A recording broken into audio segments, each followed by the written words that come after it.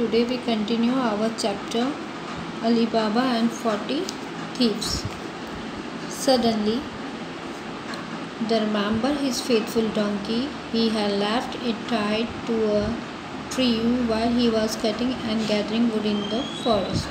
Alibaba rushed to where the animal was the impetus the basket of wood.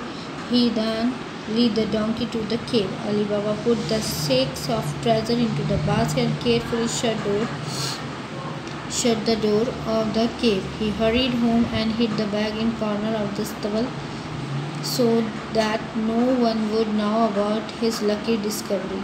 अब यहाँ पर हमारे अली बाबा ने क्या किया बहुत ही केयरफुली जो वो ख़जाना था उसे उतारा बास्केट्स के अंदर और उसने गेट बंद किया क्योंकि वो नहीं चाहता था इस बारे में किसी को बताना कि उसने मतलब लकीली डिस्कवर हुआ है उसे कोई खजाना।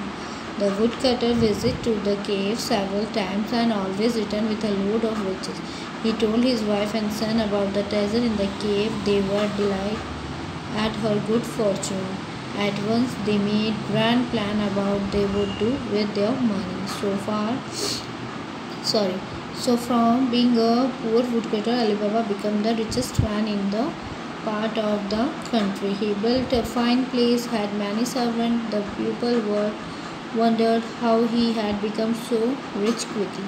अब जो हमारे अली बाबा थे वो मतलब वो ये चीज़ मतलब ट्रेजर मतलब जो उनको गुफा मिली थी उसमें वो बार बार जाके वहाँ से ख़जाना लेके आते और अपने घर में उसको रखते और ये उनके लिए एक अलौकिक मतलब आप देख सकते हैं एक ख़जाना था जो अचानक से मिला था और उसके लिए वो बहुत ज़्यादा खुश थे।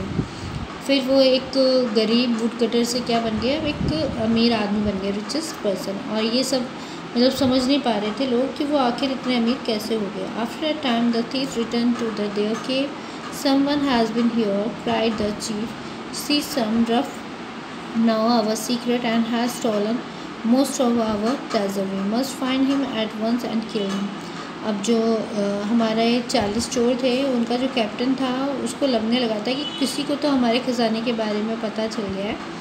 अगर वो हमें मिल गया, वो भी अब हमें क्या कर रहा है, लूट रहा है। और अगर वो मुझे मिल गया, चिल्ला के वो बोलता है, अगर वो मुझे मिल गया तो मैं उसे मार दूँगा। The thieves hurried away the in all the nearby village they found out the Ali Baba suddenly become very rich and no one now how he had give the money उन्होंने बहुत ही जल्दी से इस चीज़ की छानबीन शुरू करी है और पता लगा है कि मतलब एक अली बाबा नाम से एक बंदा था मतलब एक वुड कटर था, यानी लकड़, लकड़हारा, जो अचानक से ही अमीर हो गया। इस बारे में किसी को कुछ पता भी नहीं था कि गरीब से वो अमीर कैसे हो गया। Ali Baba must be the thief carrot cried the captain of the thieves now we must plan to kill him अब अली बाबा के बारे में पता चलते ही थीव्स ने क्या किया? उसे मारने का प्लान किया।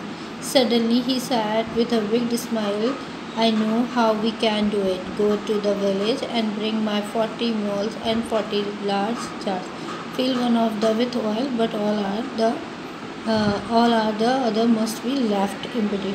अब वो उसके लिए एक आप देख सकते हैं शातिर दिमाग लगा के हंसता है और कहता है मुझे पता चल गया मुझे इसको कैसे मारना है उसने चालीस मॉल जार मंगवाए, जिसमें से एक के अंदर तो उसने ऑयल भरा और सबको खाली रखा और ये प्लान करके वो विलेज की तरफ़ गया okay when this was done the captain lead away the way to the fine new place of Ali Baba he told Ali Baba that he was a merchant and wish food and shelter for the night अब रात रुकने के लिए हमें कोई जगह चाहिए? Ali Baba made his welcome and told him to store the jar in cellar अब उन्होंने जो उसके जो जार्स थे, उनको अली बाबा ने देखा, उसको कहा कि आप इसको स्टोर में रख सकते हैं। Every jar accepted the one with the oil he the robber inside they were to wait in the jar until they got a single from their master अब धीरे धीरे सारे ही उन्होंने जो जार्स थे, उनको मतलब अंदर रखा। और सब पे हाथ लग रहे थे मतलब एक तरीके से जो चोरी करेगा Ali Baba was very kind to the captain and gave him a fine meal in the lovely dining room while they were eating. Marjana, the maid servant, noticed that the lamb needed more oil. She went down to the collar to fetch some.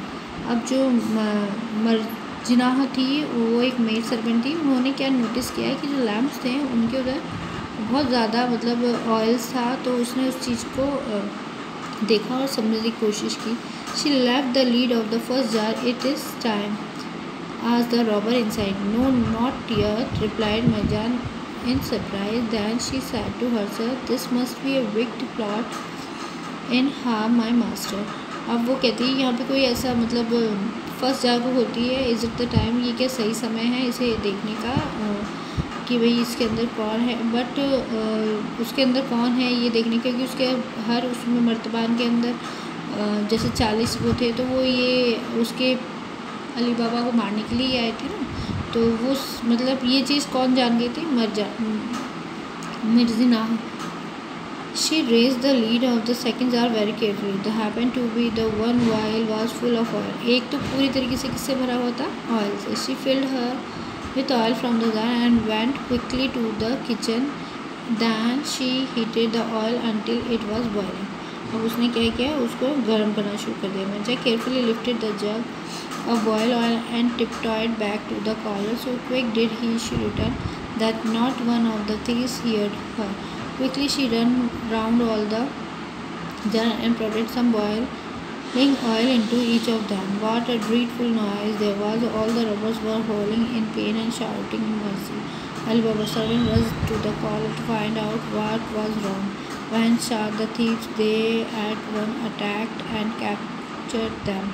Some of the servants ran back upstairs and captured the thief.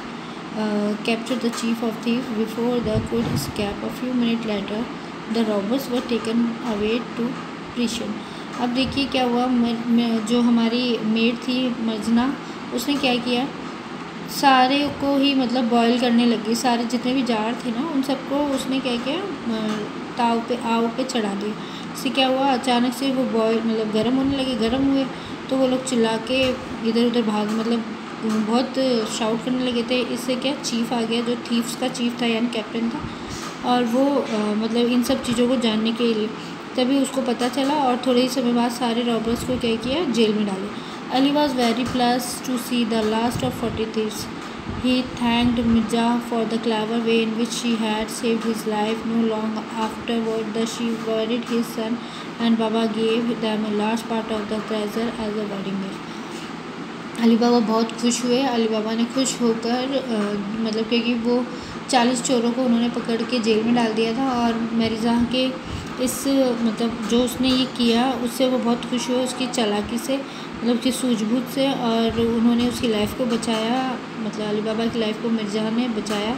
और मिर्ज़ा की जो शादी थी, वो बेटे से होने वाली थी, किसके? अली बाबा के। तो उन्होंने क्या किया, उसकी शादी के गिफ्ट के तौर पे मतलब उसे उपहार के रूप में, उस खजाने में से बहुत बड़ा भाग उसे एज अ गिफ्ट दिया। Okay our that's all your chapter is finished when we go through the our question answer in next video. That time stay safe and please follow the uh, guideline by the government. Okay thank you everyone